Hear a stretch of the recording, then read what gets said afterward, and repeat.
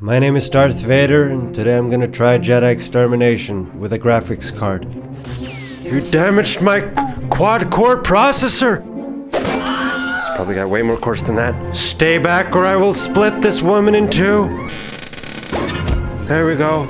I don't have my RTX. It's unfair. How can I fight 15 Jedi without my graphics card?